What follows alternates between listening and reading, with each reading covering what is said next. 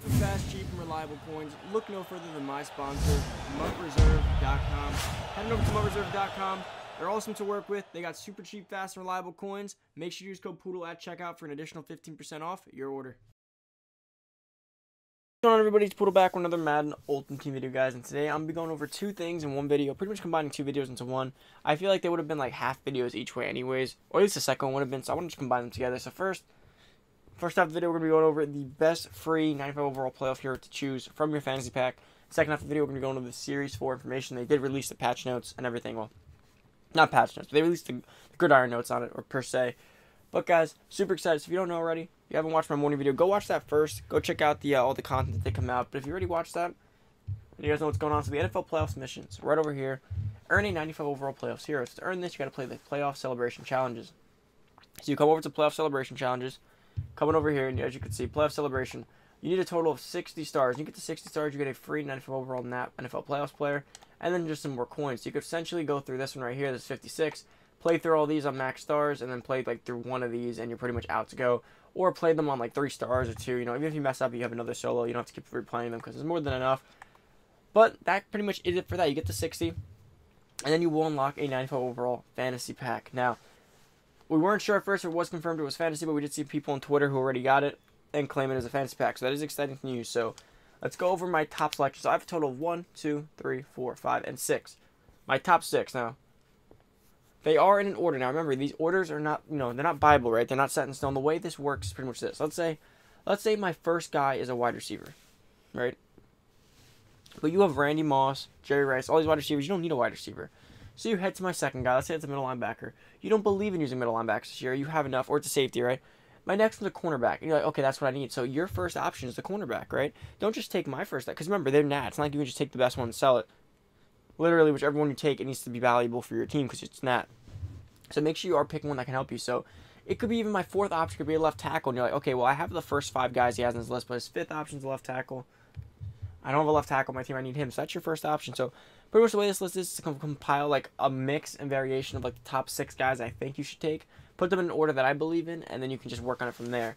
Let's head on over through the list so I can show you guys my order, show you guys just about everything I'm going through here. So if we go over to the auction block, we do this one by one here. So the thing with this promo, right? These cards are all 95 overall, so they're not all going to be meta cards. So I have to find the ones that could be at least closest to meta, or at least make a difference. Right? Not all of them will, and that's just the, the you know the nature of it.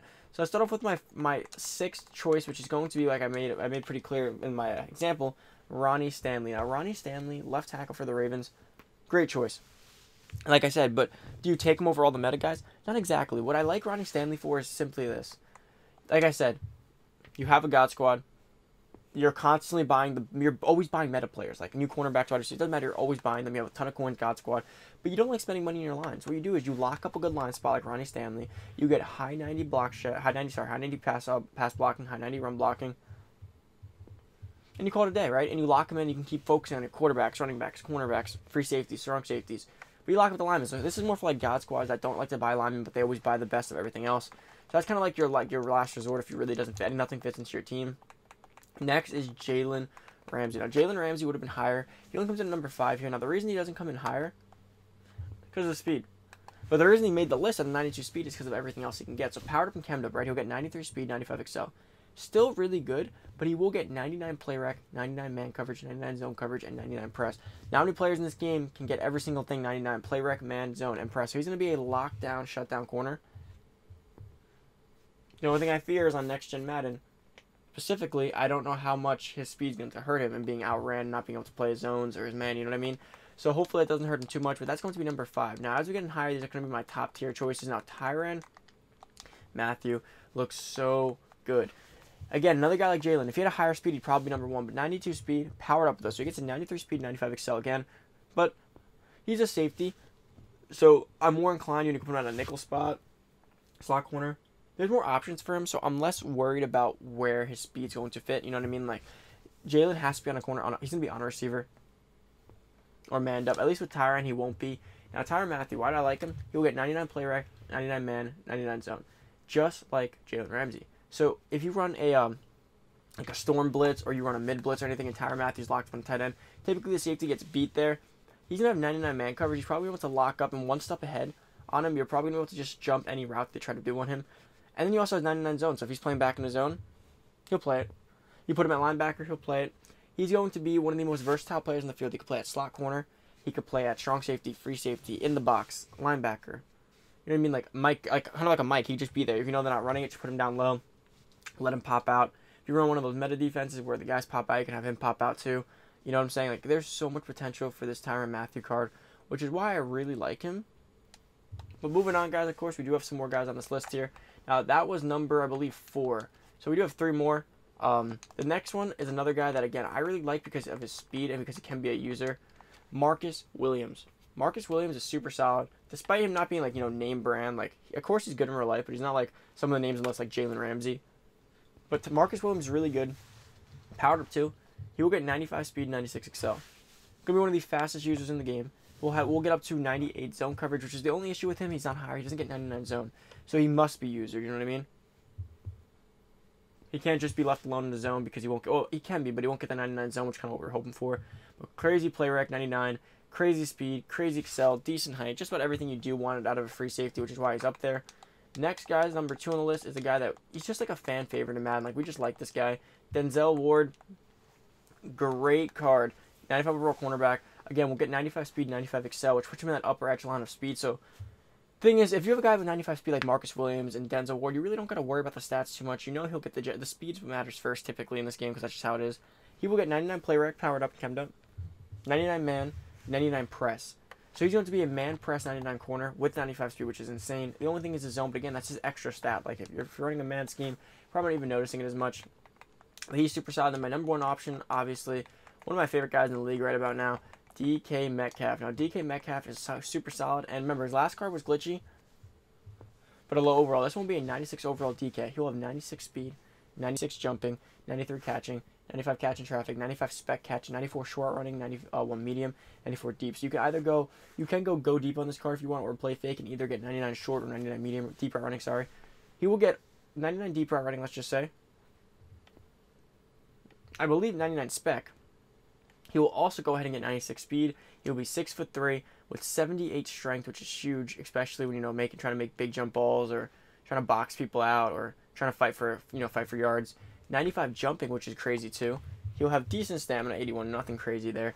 He'll have 92 carrying, 81 truck, 81 change of direction, 91 stiff arm, 87 juke, some really, really good tackles. 91 break tackles, some great stats here, guys. This DK Metcalf's my favorite card by far. And again, it's the most fun name on there, right? Like Jalen, they're all fun, but DK Metcalf's gonna be a wide receiver, you know, an offensive player that you can really use. There was really no glitchy offensive players from this uh, promo, so having one like that is really fun. Guys, that wraps up that. Let's head on over to the Series 2 notes. Sorry, Series 4 notes. Guys, so quickly, let's go over this Madden 21 EA Sports. These are going to be the gridiron notes here. Series 4 update details. Hey Madden community, the Series 4 update is targeted to be released on Friday, January 15th. Anything changeable, make sure to let uh, players know. So they know it's great though, guys. We did get the playoff promo just about a little bit after on time, but just about on time. We will get Series 5, fifth, we'll get Series 4 on the 15th, which means Team of the Year will probably come shortly after. Very shortly after. So remember, as per usual, new Series program is half. So if you have Series 3 trophies, you get 1,000, you get 500 in Series 4. You have 200 trophies, you'll get 100. Just cut it in half, and that's how many trophies you'll have. You have 100 uh, Series 3 trophies, they will convert to 50 Series 4 when the new series launches. Also on Friday, there will be new series Redux players. These are LTD player items that were in previous series that will now be available in packs as non-LTDs. The key changes you will see to non-LTD players as follows. The item artwork will have a different border and stamp. They'll be that kind of orangey. And the LTD will be gone. They will also no longer quick sell for 250,000 coins, but for their equal amount of training at their overall. Please note that LTD players in Series 3 will remain unchanged, including their quick sell value. Only new non-LTD versions of these players will be introduced as packs. So here's the thing. There's going to be a big list, as you guys can see here, because of course we had a long, bro, like, gap in between the last series. So Team of the Week LTDs that will be introduced as Reduxes. If you see a guy on this list, guys, there's two things to realize here. First, if you have one of these guys as an LTD, you probably want to sell him for as high as you can. Because once his Redux come out, uh, the Redux is the exact same card, just a lot cheaper. It's like their budget option, but you get the same stats. Also, if you see a card in here and you've been wanting to buy him, congratulations, you're going to get him for super cheap. Team of the week, we got Joey Bosa, Big Ben, Melvin Gordon, Chris, jo- uh, Chris Jones, Mike Evans, Norris Jenkins, DeVante Parker.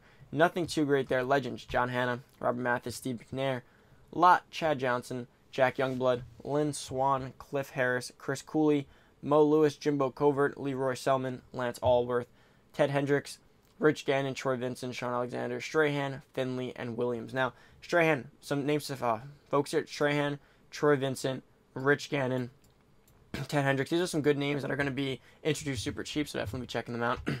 LTD Saquon Barkley was a big name. Again, the issue with him is he's already been out. He's already been like outmade. But again, if we do get another Saquon, you can you want him to be powered up, so that could be cool. We get McCourty, uh, Cooper Kupp, Chandler Jones, Brandon Brooks, Roquan Smith, Tyler Boyd, Shaquill Griffin, Andrew Norwell, Harold Landry, Maurkice Pouncey, Kareem Jackson, Todd Gurley, Nick Bosa. All these cards are pretty much played out at this point. Theme teams are great though, right? If you need any of these players for theme teams, you will be able to get them.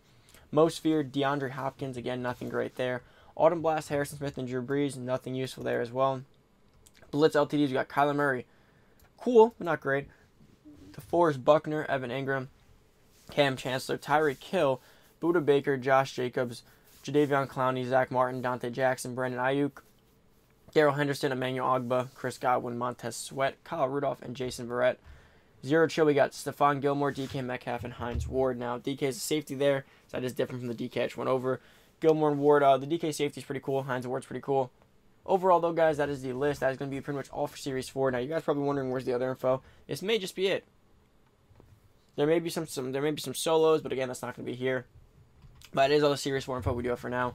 Hopefully, you guys enjoyed today's video. If you're new to the channel, subscribe, turn the noti bell, join the family. If you guys need coins to pick up any of these players, if you if you got, let's say you got the free one, but you still want some more, heading over to MUT Reserve. Use code POODLE. You can get 30% off your order. Pick up some coins. I'm out. Peace.